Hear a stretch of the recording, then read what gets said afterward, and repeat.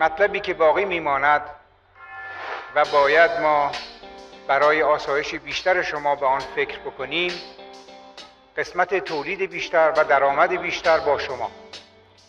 ولی کمک به تهیه مسکن چه سازمانی و چه شخصی برای دوره های بازنشستگی شما از مطالبی هست که حتما همیشه مورد توجه ما بوده و خواهد بود.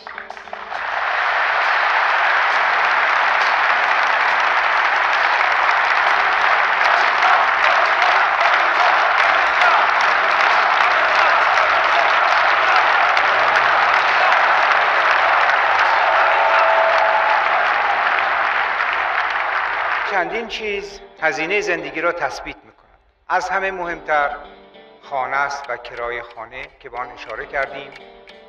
دوم لوازم جاری زندگی است که این به میل هر دکانی هر روز قیمتا نوسان پیدا نکنه.